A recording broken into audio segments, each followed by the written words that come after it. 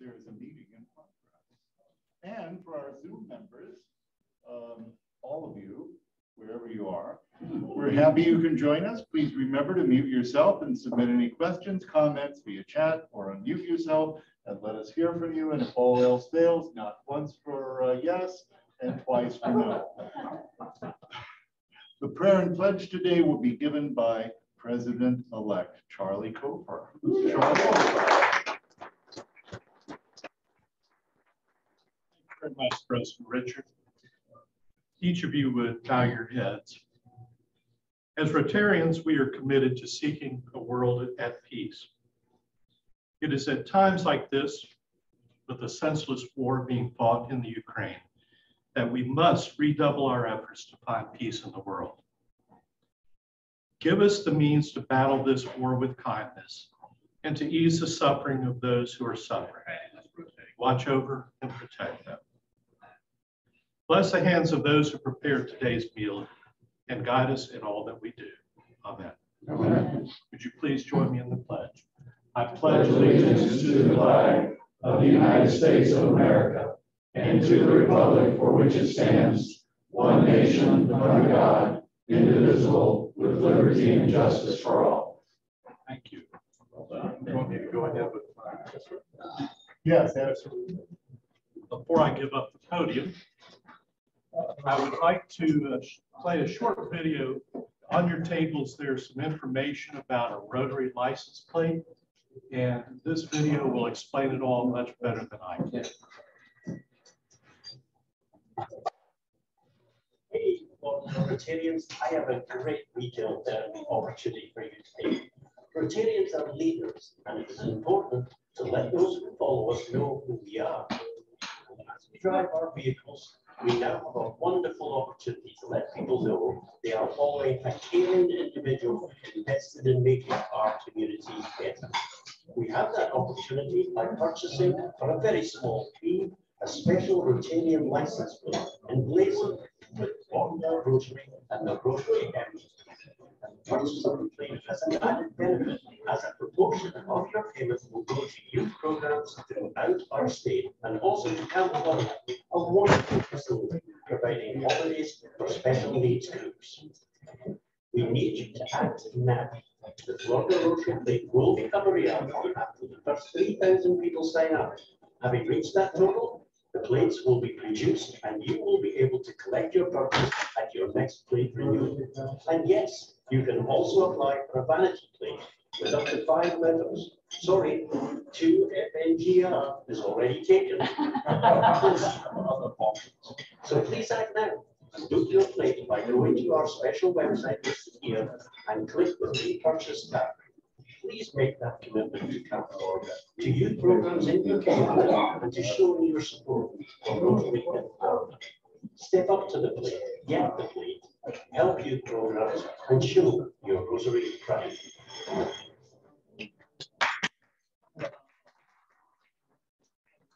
A lot of work has gone into this program to get 3,000 people registered or pre-registered for this plate. And the deadline is early this fall. And we are a long way away as, as a state in getting the number of people signed up. Understand, registering for the for the plate, if Rotary is not successful in selling the 3,000 plates, you will be able to apply your, your application fee to your next renewal. So. So what's it cost? It costs $33, I believe. That's, That's it. that's the basic oh gift. Yeah, You get a little quick. To get a rotary plate. So there's information on each uh, table. I'm going to encourage and challenge everybody to sign up for at least one rotary plate. And if we don't get it by fall, can we go at it again? No, Charlie, yeah. is there a way to keep track of how many commitments so we know where we are between now and when the deadline is? Well, statewide, the people who are organizing it statewide, they, they get periodic updates and I'm trying to remember. it. So we can pressure people. There, yeah, so there's, oh, you mean within the club? Yeah. No, I figured that out. I can do that. Not sure. But I'm going to keep bugging you until I get a feeling that we've got ninety percent plus signups.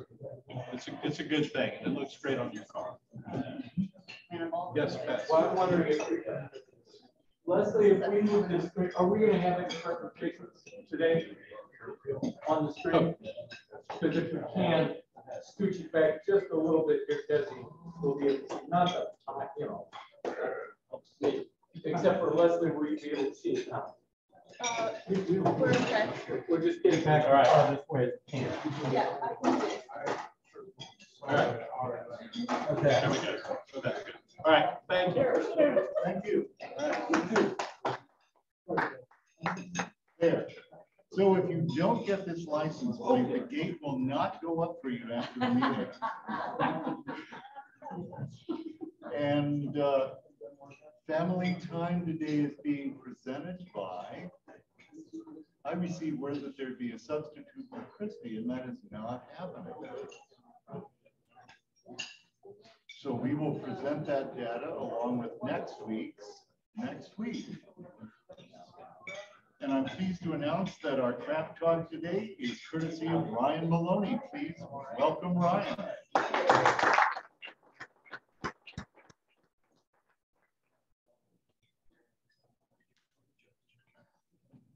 Good afternoon. Uh, for those that don't know me, uh, my name is Ryan Maloney. I've been in the club for about seven years now or so, and I think maybe this is my second or third craft talk. Uh, had to play a little bit of uh, movement around because I was supposed to do my craft talk, I think, about a month ago, and uh, President Richard forgot me. So, you know, I guess I'm, I'm very memorable, but uh, just kidding. So, uh, just a little bit about my background. Uh, I'm from North Carolina originally, uh, lived outside Raleigh for about uh, 15 years and then moved to Vero Beach, Florida. Uh, went to high school there in Vero and then uh, went to Florida State. Graduated during the peak of Bobby Bowden years. I think I saw Florida State lose like three games all to Miami or Florida, so it was a pretty good run. A lot different lately, unfortunately. Um, so after college, I uh, actually worked in the admissions office at Florida State for a year, which was a lot of fun. And uh, actually met my wife there. She was working uh, at the same time. So um, uh, we weren't married at that point, but uh, I decided to go to law school because I didn't want to do admissions anymore. And uh, we did um, long distance relationship for three years while I went to law school in Gainesville. And uh, I know the trip between uh, Tallahassee and Gainesville like the back of my hand. I know where to slow down for the cops and uh, never got a speeding ticket through all those trips forth. Yeah. Slow down in Madison County. Not warning. So uh, my wife and I have been married 19 years. Her name's Amy. Uh, we have two kids, uh, Christopher, who turns literally 16 this week, so pray for me.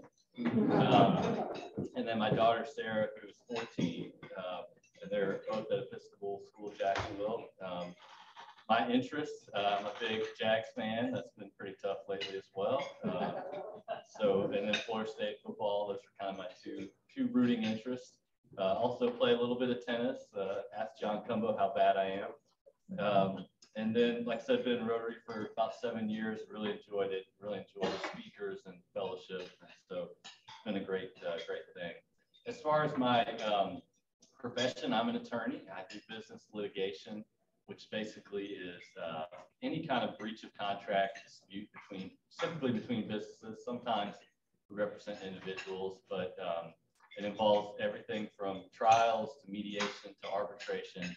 And then I also have a big focus of my practice is on construction law. Uh, so I'm board certified in construction by the Florida Bar, which is supposedly means I'm an expert. And I've had that certification since 2012. And I'd probably say 60% of my practice is in that area.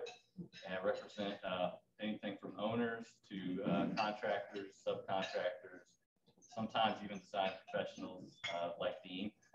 they get in trouble sometimes too. So uh, we deal with a lot of just, you know, uh, resolving disputes, but sometimes you got to go all the way to court and uh, have done a couple trials, done some appeals. So lots of experience. Uh, first, probably uh, 15 years of my legal career career, I was in a bigger firm, a national firm that had an office in Jacksonville. And that was a great experience. And then about three years ago, I moved to a more local Jacksonville firm. And that's been a really great fit for my practice. It really allowed me to focus more on Jacksonville clients, Jacksonville folks that I know, and, and being able to help people I know has been very rewarding. So I think I'm uh, wrapped up. I appreciate your time and listening to me and hope everybody has a great rest of the day. Thank you. So, um, quick question, so can you clarify what kind of trouble Dean has gotten into, or is that? Not Dean specifically, no, not And plus, that would be attorney-client privilege. Yes, testing, yes, testing.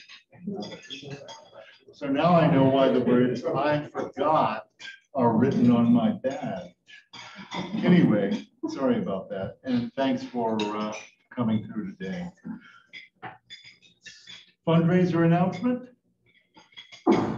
Sure. Welcome, Lisa Marie. Things are going well with the, uh, with the planning and execution for Casino Royale. Um, as mentioned previously, uh, we have got a slate of great things on the docket for our fundraiser with some casino games. We have a silent and live auction being lined up. We have our bar, our open bar, and some great food. And I believe there may be some live music down the way.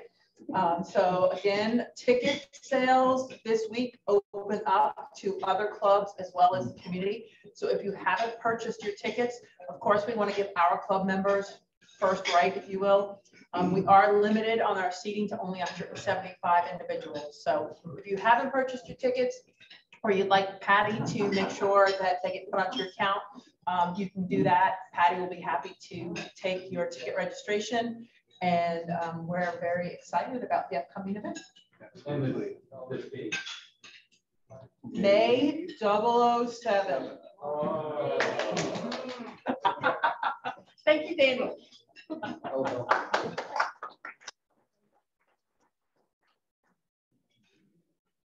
I'd like to remind you that the district conference and training assembly is April 29th and 30th.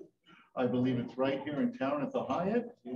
And I have a big, long announcement here about Rotary donations that are going to Ukraine via the York Foundation and Rotary Foundation's Disaster Relief Fund. And that is probably as long as that announcement needs to be, except to say that the money that you are donating is being applied to the disaster in Ukraine right now. Uh, do we have a Paul Harris moment from Bill Trayer? Bill.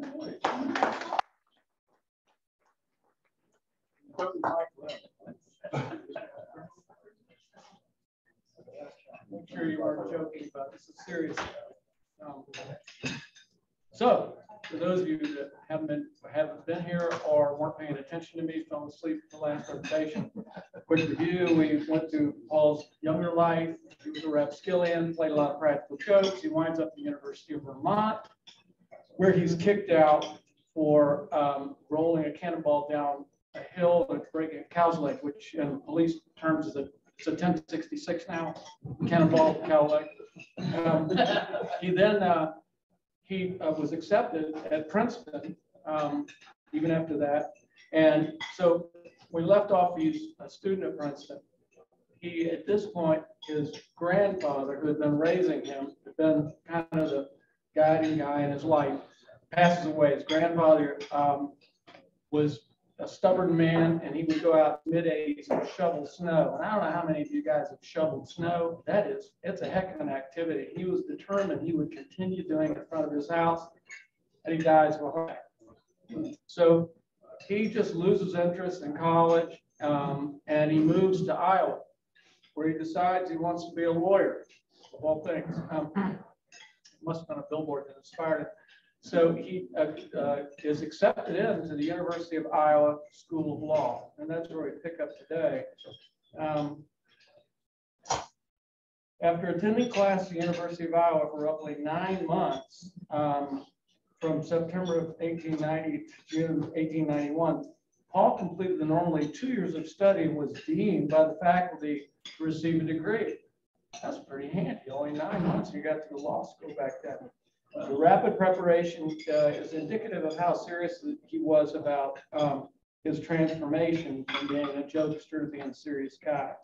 Um, And at the, at the um, graduation in 1876, uh, this lawyer gave the talk, his subject, Our Relationships to Humanity. Uh, And he began the speech by saying, the newspapers and stage have portrayed the lawyer as a crafty and unscrupulous man. And the jump, imagine that, and the general concept of the lawyer is not to be wondered at. But he continued, the province of the law is to act as a balance wheel between the rich and the humble. I thought it was actually pretty good. Um, So he has now, um, is about to graduate and, but there's one more time that happens here. Uh, And it's actually, it may have happened to him. As an academic requirement, each law candidate was required to write a paper on a topic chosen by the faculty. Only certain dissertations were found acceptable. All the students were given an okay on it, um, and everybody was able to uh, graduate. Sadly, someone on the panel decided to play a joke by recalling selected students for additional questioning regarding their quote moral character. It is not known which members of the class were called for this, but uh, the whole thing was exposed, and even the local paper, the, the Iowa Citizen, had to write an article about it, chastising the committee and asking what impression is left upon the young men. Um, and Paul notes that at the commencement speaker speaking, um, Adam Hudson stated it might be a wise plan for each graduate to take five years and make a fool of himself before settling down to practice law. I'm Not even going to go any farther on that. So next week, we're going to go into the five years of folly of Paul Harris.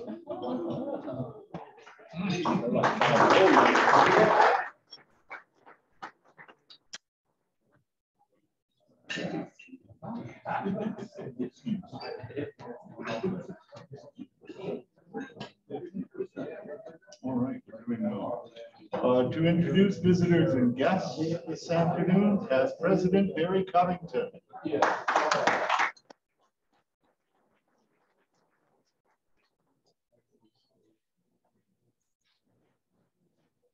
Thank you for that thunderous applause. It's nice to be recognized. Ryan, those were good comments you made uh, about the legal profession. Unfortunately, it reminded me of some things that went on in my past, things that you'd never expect to happen. And you say, and that's when you say, thank God there's lawyers out there to attempt to rescue you. But having said all of that, we do have some guests. Uh, Jason Burnett, where are you? You have a guest. Oh, I do. This is just a reminder. I'm pondering about, do I, you know, I am a lawyer, and so a lot of lawyers talk, but uh, with me again is Michael Hoderling. Uh, he's been coming so often, he's probably gonna introduce me next time.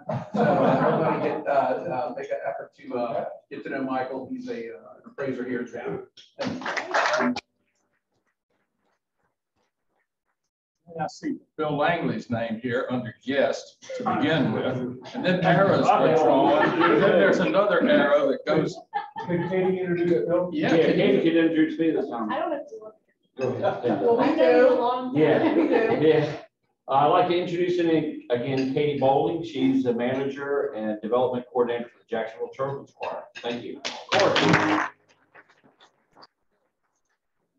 We got anybody zooming today? We do not. No zooming. One bit, Lynn Bowman. Say hello. Hi, Hello, Lynn. Lynn. Lynn, are you there? I'm sure she, she's working hard right at the moment, I'm sure. Anyway, that's it. There she is. She's here. What's, what's for lunch? Uh, oh, oh, yes. My God. How can I forget this? Rotary welcome you today. So glad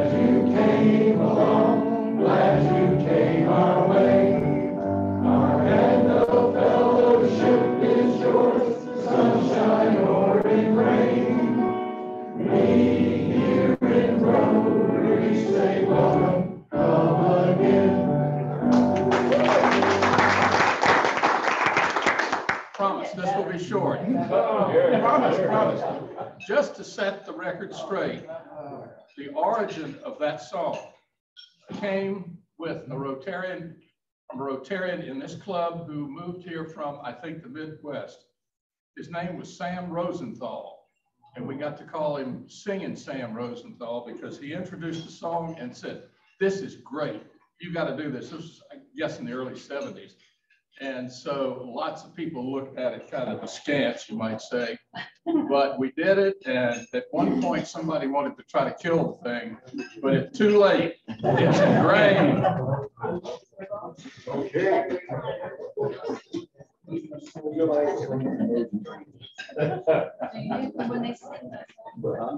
And our program introduction this afternoon is courtesy of past president Harlan Post.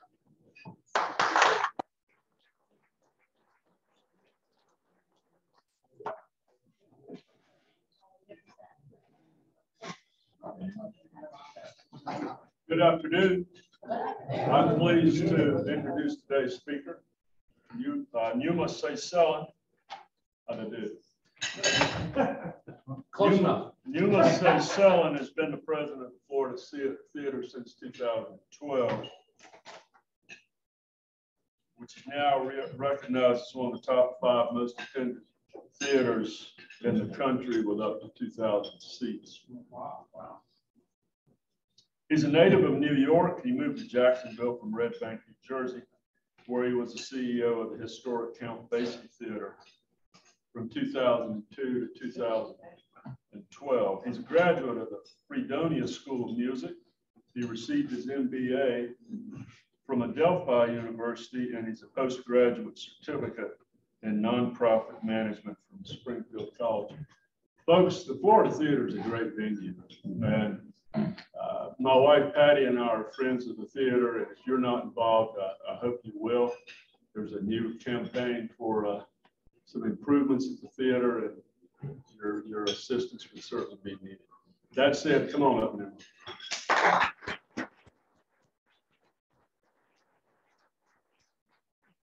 Morning. Uh, Great to see you all. Uh, um, I, I was so pleased to walk in uh, and see Martha Barrett, who just had to leave.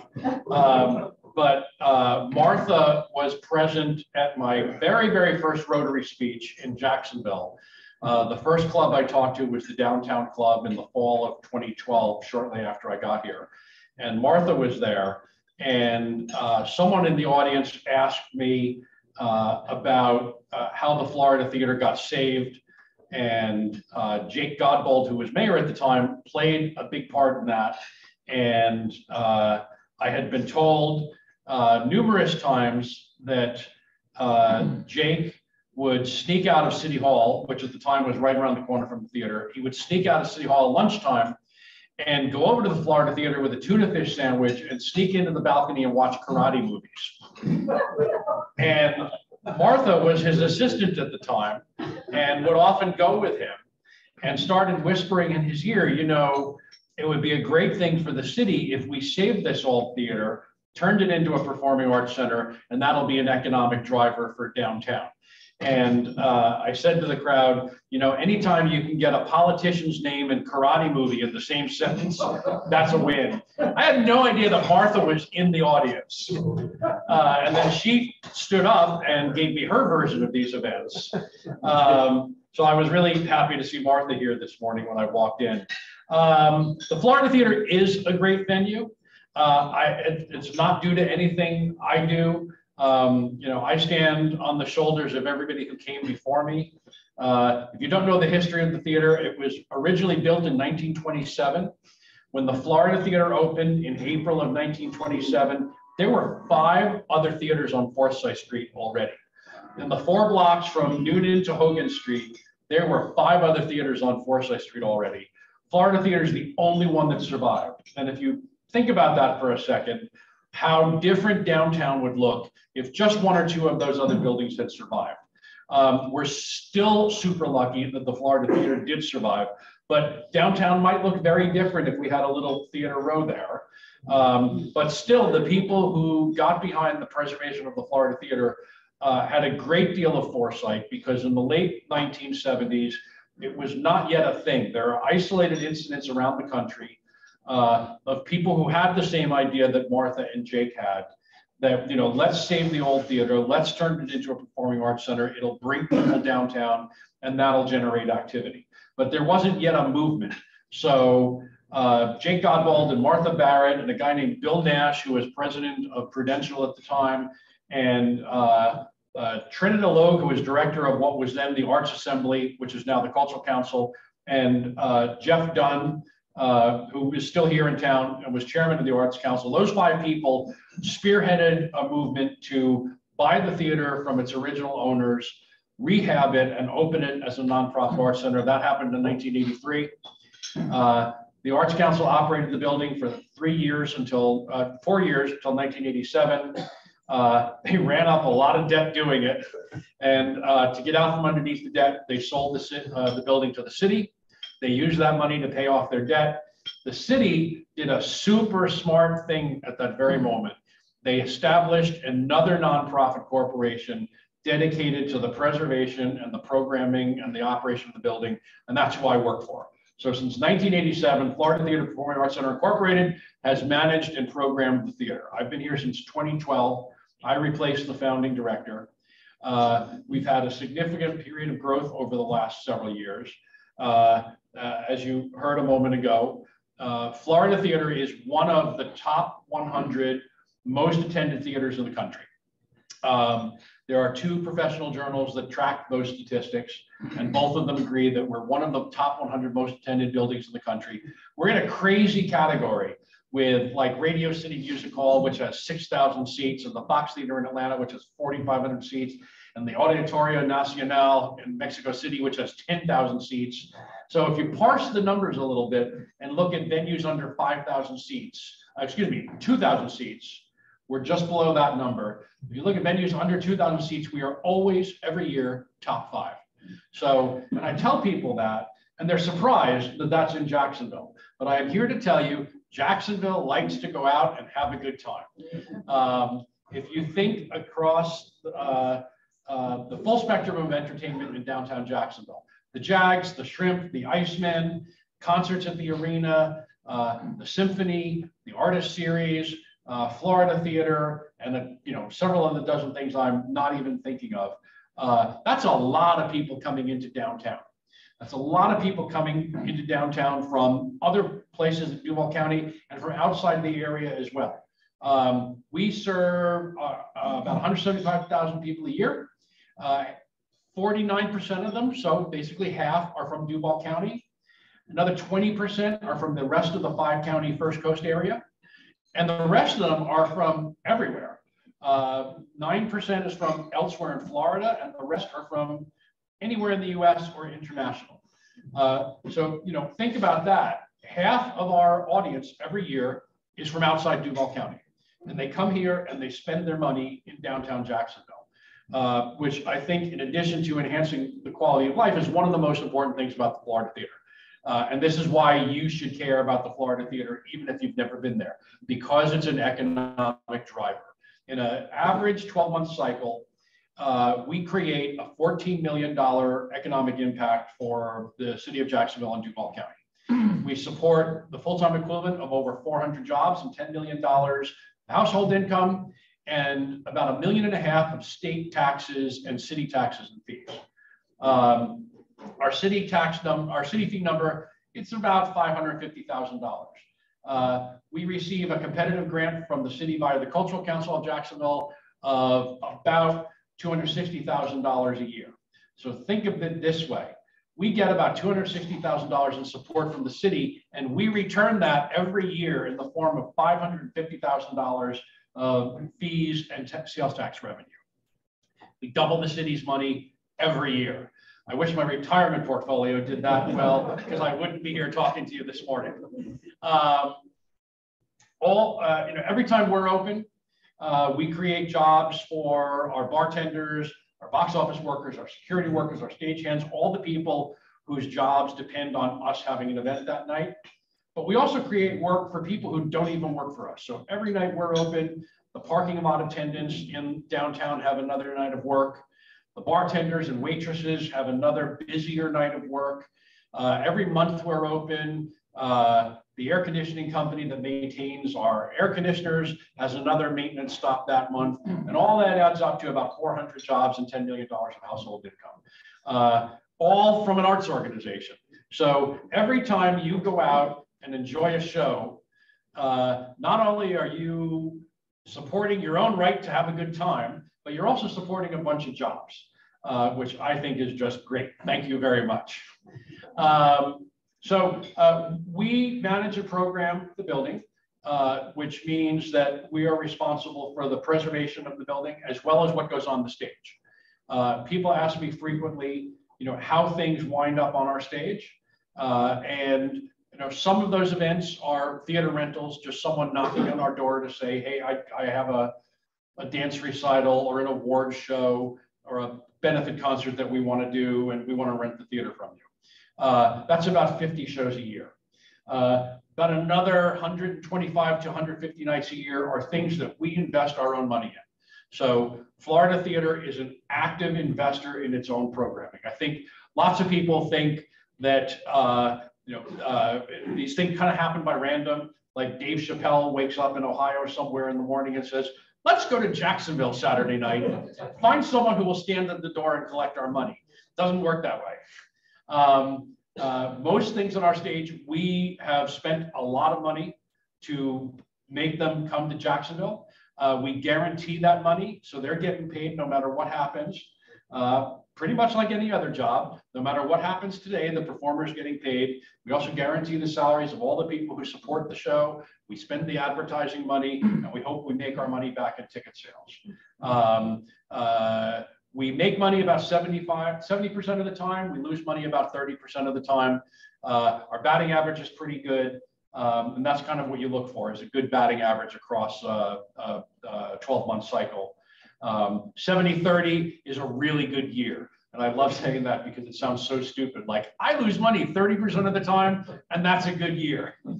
Um, uh, but you know, we go out and spend money and make you know calculated risk decisions to spend money on an artist and get them to come here because we think people will want to see them and we think we stand a good job at getting our money back.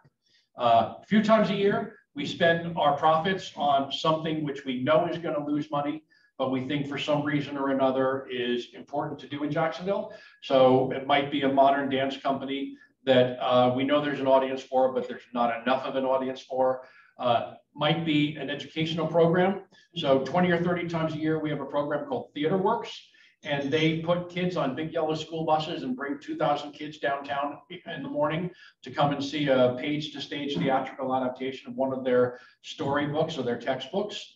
Uh, and we underwrite that with some of our fundraising and some of our profits from a comedian or a classic rock concert. Uh, we make a really big attempt every year to have balanced programming. Um, I think when people start talking to me about what I do, they think I've got the coolest job because I just book my own record collection. Uh, and it doesn't work that way. In fact, uh, so there's a staff member who does book our shows. And I find when I'm excited about a show, we need to ask ourselves twice if there really are enough people who are going to come to you know, we're not booking the, the theater for me, we're booking the theater for you and everybody else in the city. So if you look at our schedule at any given point in time, uh, I brought some postcards, which I forgot to put out, but they're on this table over here. If you look at our schedule at any given point in time, it looks like a crazy quilt of completely disconnected performances uh, with country music and classic rock and comedians and hip hop and ballet. But if you look at our performance schedule over the course of a year or two, you begin to see some common themes and you see clearly that we're attempting to serve all the constituencies in Duval County and the five county First Coast area. We want everybody to have a reason to come to the Florida Theatre at least once a year, and hopefully we bring them back.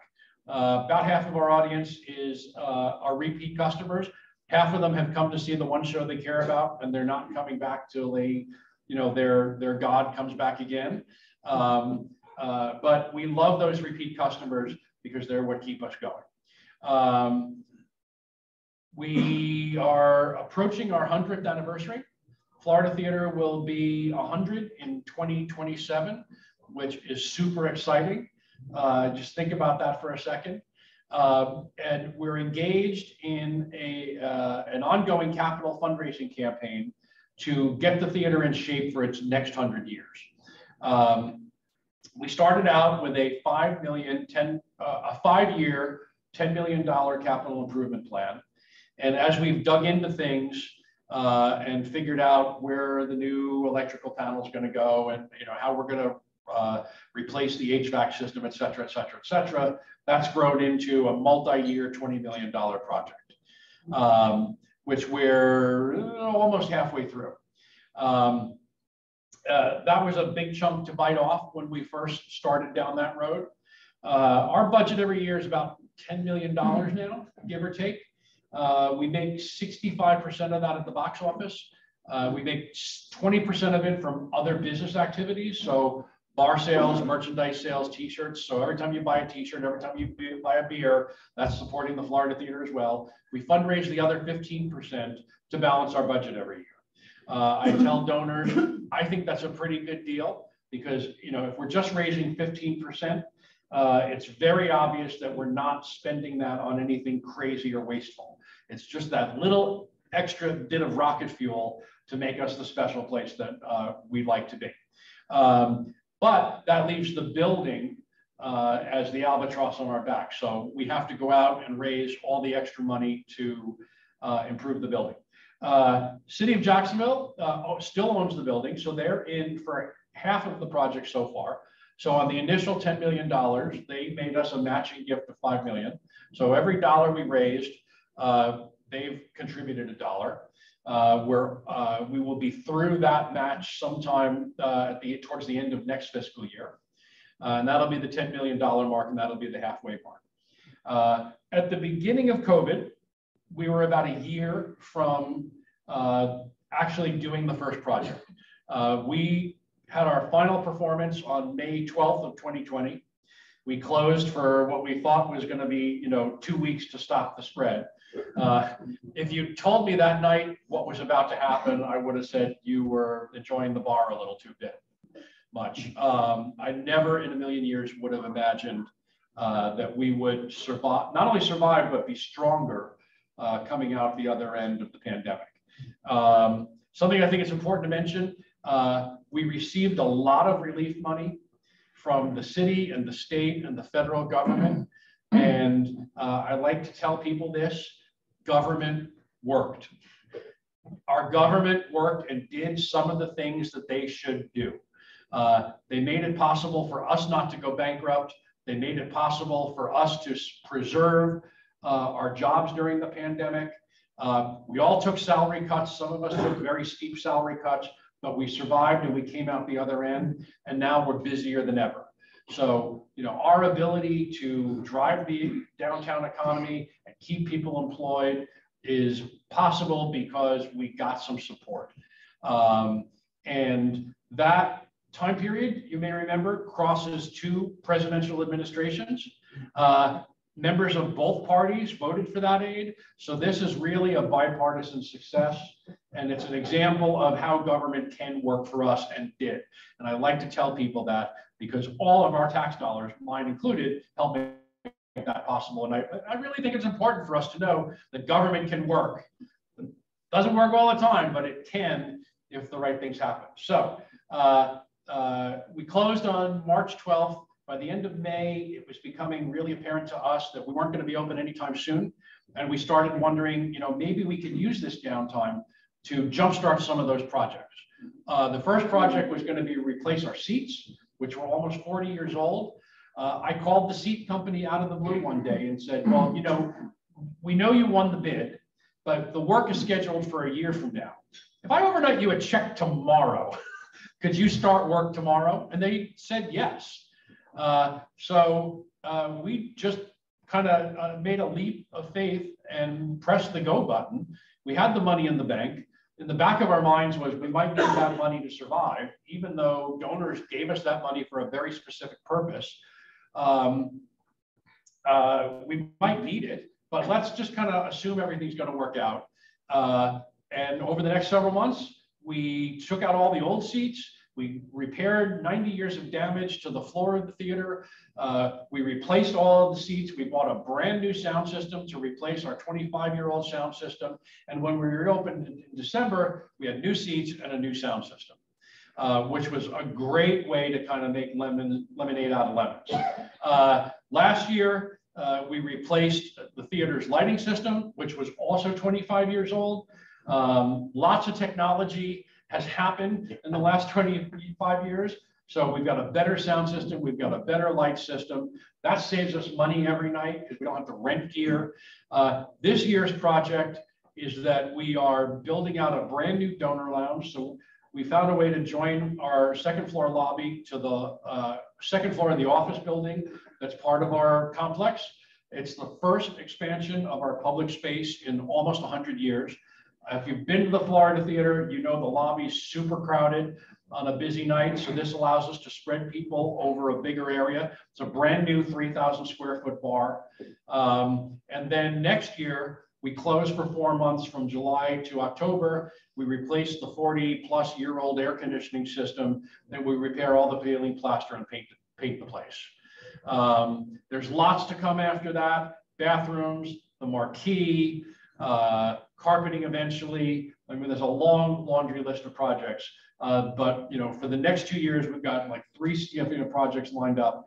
We have the money in the bank to do it, and we're going to get it done, which we're so excited about. Um, so by the time we get to 2027 and our 100th year anniversary, it's going to be a brand new, or at least a brand new looking old historic theater. Um, and you know, in the back of our mind is we want the building to be preserved for the next hundred years. Uh, creating a new donor lounge and a new bar is all about how do we make ourselves more financially self-sufficient. Um, corporate money is not what it used to be. Government money is what it's not used to be. And we have to be realistic about that. So it's on us to make sure we fund ourselves uh, and continue to maintain that kind of 85, 15% fundraising earned income split. Um, uh, we have great shows coming. Uh, I'm going to make you an offer. Uh, uh, this Friday night, we have a band called the Lords of 52nd Street. They are the original members of Billy Joel's band.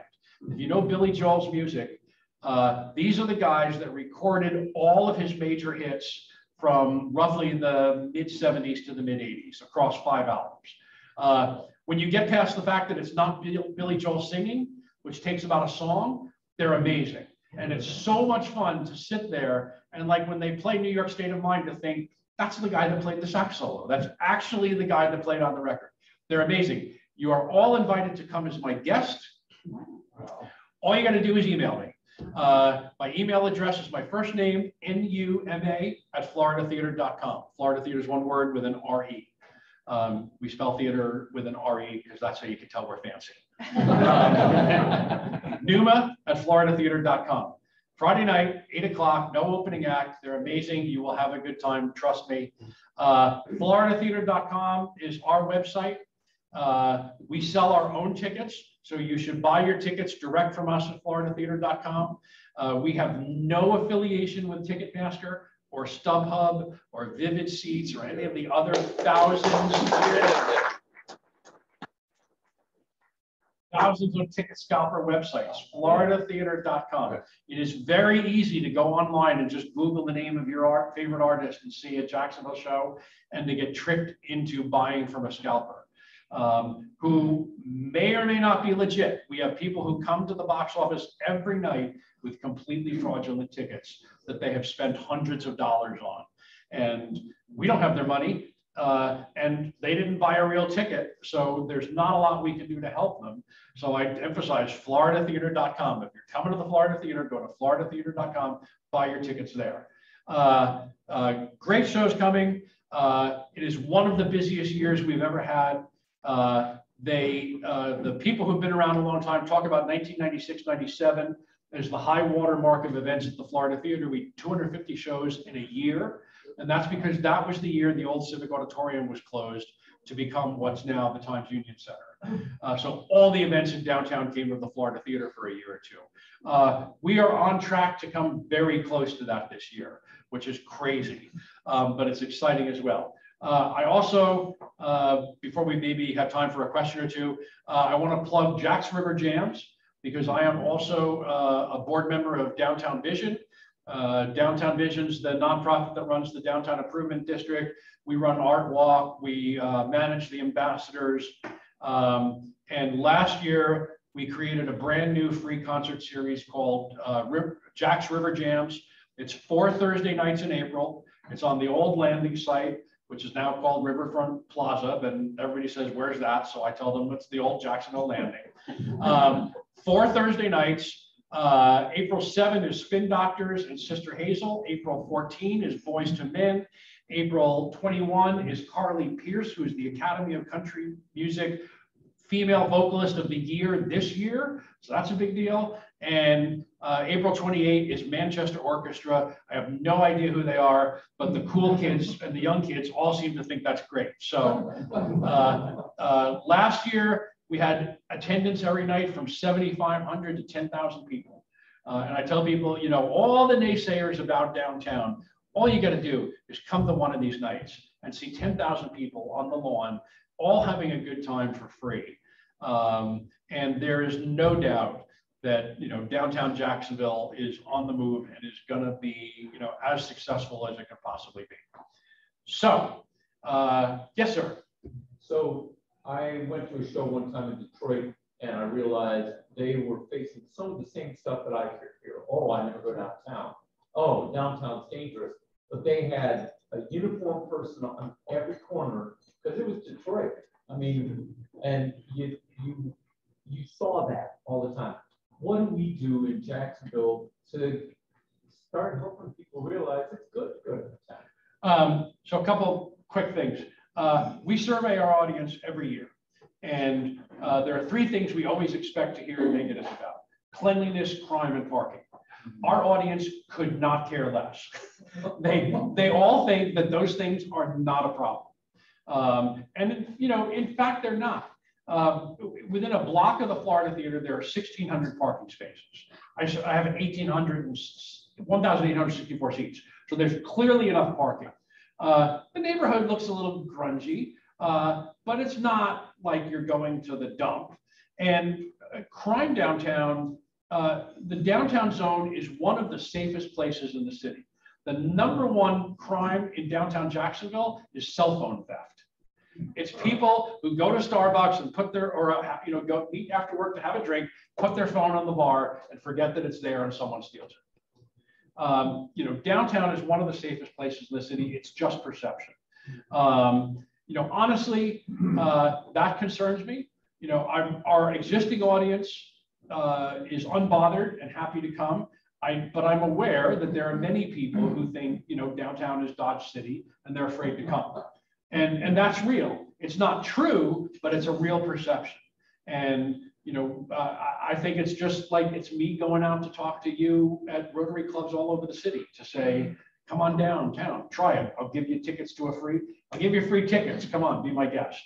Um, you know, uh, I know people, uh, we moved here from New Jersey. We have friends from Jersey who have a house in Ponte Vedra. Um, they've had the house for like 30 years. They're, you know, gradually making it the retirement home. Till we got here, they had never come downtown. They drove down 95, make a left, made a left, and went right out to Ponte Vedra. They had never been downtown, hadn't come to a Jags game, hadn't gone to the Symphony, hadn't come to the Florida Theatre. It just wasn't in their frame of reference. But now that they've been, they come more frequently. So it's like any other retail business. Like the hardest thing is to get the customer through the door for the first time. Once you've done that, they're more likely to come back. Yeah. What time do the doors open Friday? Seven o'clock.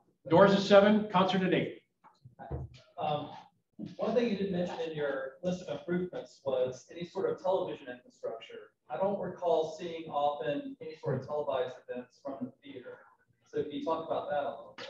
Um, you mean like us broadcasting a show that you can watch at home? Yeah. So uh, interesting question because during the pandemic, uh, a lot of organizations turned to streaming of performances as an alternative to live. Um, we found out our audience doesn't care. Um, uh, you know, we, we experimented with streaming a little bit and at best we sold 150 tickets to one event. Uh, usually we did worse than that, uh, which we interpret as a positive because it means that people value what we do, which is to congregate, you know, aggregate people in a room to enjoy a performance together live in person. The, the tricky piece about it, if we were to try to put something on TV, is the artist, uh, because we don't control the performers that we book. Um, it's the strangest business. You know, you tell someone, I'm going to give you a stupid amount of money for 90 minutes of work. And then over the like three or four month period that your contract covers, they tell you what to do. Uh, and generally speaking, they all like to control their image. Uh, so they have the right to say, we'll, let's try something to record it or not. So Dave Chappelle, we mentioned, wanted to film his next HBO special. It couldn't come from the theater because that infrastructure doesn't exist. Um, Well, we would bring cameras in to do something like that. Yeah, we don't have that infrastructure in-house. We would bring it in. Uh, some people have, so Lynyrd Skynyrd taped uh, two nights a few years ago, uh, which are in rotation on Access TV. I see it every now and then. Uh, Katt Williams taped a Netflix special uh, here a few years ago. Uh, if you've not seen it, you should go find it on Netflix because the first 20 minutes of his special are all about Jacksonville and it is utterly hilarious. Uh, he doesn't live here, and I don't know how he knows as much about us as he does. Uh, um, uh, Larry Wilmore taped a show a Showtime special with us, and NPR has broadcast a couple shows live. So it happens from time to time. It's just it's not something we can control. Yeah. Somewhere in my past, I heard. It was recent, it was, it wasn't short. You can still recall. Something that I can still recall in, in folklore, that the Florida Theatre was the first building in downtown Jacksonville to be air conditioned. Is that true? I don't know. I have not heard that. I can tell you, it was. You were there, Barry, when was? Yes. I did see, I did see Elvis in nineteen fifty-six. He will be I 100 was in there. 2027. The, uh, And if you missed, if you missed the night at the Florida Historical Society, where people talked about that, that had either been there or uh, Judge, uh, what's his name? Gooding. Gooding, Judge Gooding's daughter. It was great. It really was. Um, Took me back to my youth. I was very, very young. Florida Theater is the first building in the southeast built with ready mixed concrete. It's got a million bricks in it. They broke ground in June of 1926 and opened in April of 1927. Just think about that for a second, how fast that building went up and it's still standing. Do you know what was said in that lot before the? City Jail. Yep. Police department. Um, the, uh, when it, on opening night, the police chief was quoted as saying, uh, people used to pay to get out, now they pay to get in. You have membership categories. We- you very We do have membership categories. Membership starts at two hundred fifty dollars a year. Uh, it allows you access to our lounge and the ability to buy tickets before the general public. That's the big perk that most people like. Uh, it goes on up from there. Uh, and if you get to, I think it's the two thousand five hundred dollar a year uh, level, you get to pick your own seats and they're reserved for you at every show. Uh, so if you come to a lot of shows, and we have several people who do, you get to pick those two seats and they're yours if you want them for every show. And considering we do hundred plus shows a year, that's a pretty good benefit. Um, just one comment about Judge Gooding. Um, so if you've never done it, Google Elvis Presley Florida Theatre, uh, and you'll find the Life magazine coverage of Elvis's six concerts here in 1956. Um, uh, it's hilarious. It's just a time capsule from another era. Um, but Judge Gooding, uh, Elvis had been here a year earlier. He played at the Armory. There was lots of teenage hysteria. When he came back, Judge Gooding brought him to Chambers and told him there will be no hip swiveling. and I will be there. I will be there with a warrant in my pocket, and and we will arrest you. And by all accounts, Elvis stood stock still center stage, played six shows without moving. Scotty Moore, his band member, says that's the night he started sneering. And he spent, he's that Elvis sneer. He spent the whole night looking at the back at Judge Gooding and sneering at him. But what I find fascinating is Judge Gooding let his kids come to the show. His kids came to the show. And I find that really interesting that while he was upholding public morals, he also kind of looked at his kids and said, well, you know, I know you want to go, do what you got to do. I, I just want to add something to that. That night at the Historical Society meeting, when Judge Gooding's daughter was recounting all this, and she said, she said, my dad that night said, you know, that really is a nice young man. He said, I didn't like Colonel Parker at all. She said, but Elvis was really a nice young man. Yes, ma'am. Um, As a new member of the Schroeder Club and um, recently put onto the um, committee for our big fundraiser, um, would you like to donate some tickets? for our Absolutely. silent auction?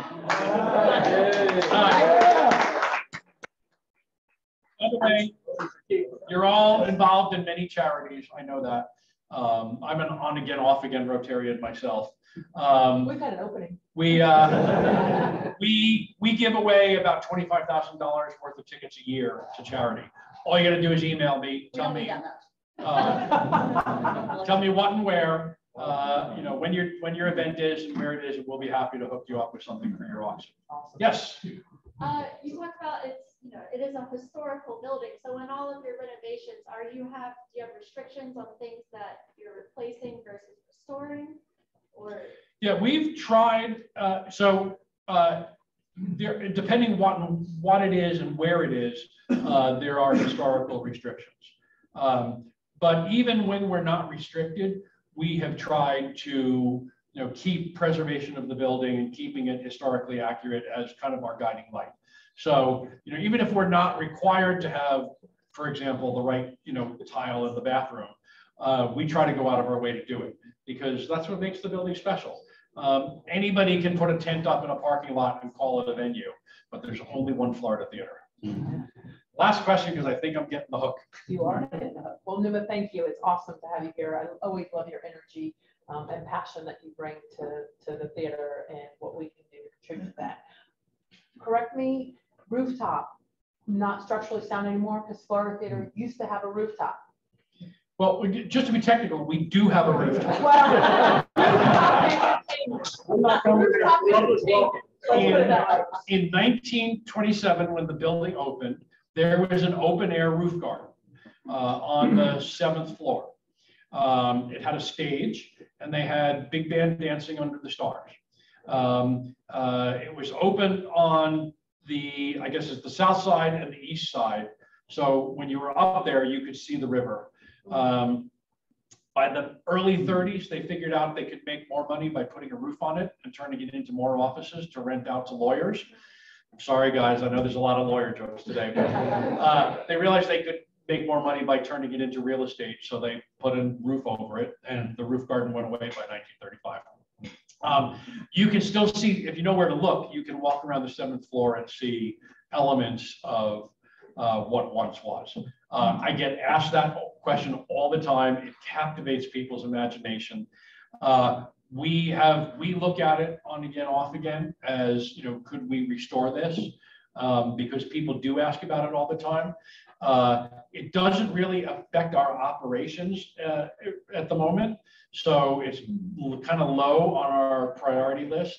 Um, but who knows? It's just time and money. So one day we might And see and a donor. Uh, so uh, we might see that again someday. Um, thanks, everybody. It's been great.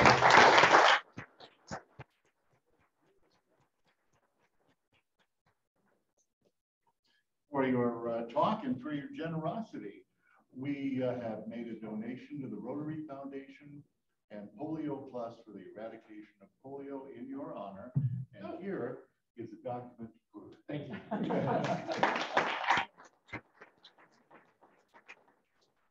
Next speaker, our speaker will be Kevin Snyder, the Vice President of Duval Motor Company, and he will speak to us regarding the industry chip shortage. I'm glad that we'll know what the answer is. As we end our meeting, we reiterate our membership motto, each one bring one, and join in our Rotary motto, one profits most, two serves best.